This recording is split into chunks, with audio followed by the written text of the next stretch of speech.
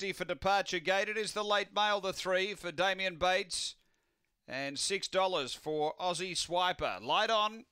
We're ready to go. Third of the night here at Murray Bridge, set to race.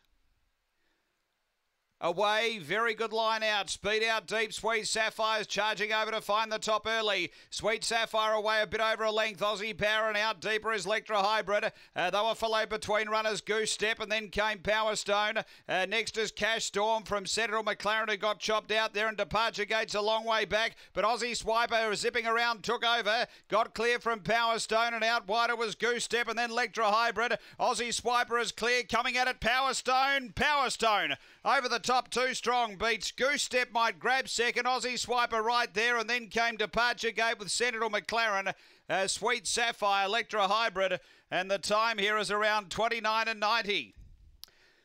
29.94 after the running of race number three, and uh, to the winner Power Stone for Stephen Brook. Back to back wins, dropping back from the 643. Number two has been too good. Second going to seven Goose Step for Tony Rasmussen and third to one Aussie Swiper for Troy Murray. It's two seven one three fourth twenty nine ninety four after race number three here at Murray Bridge.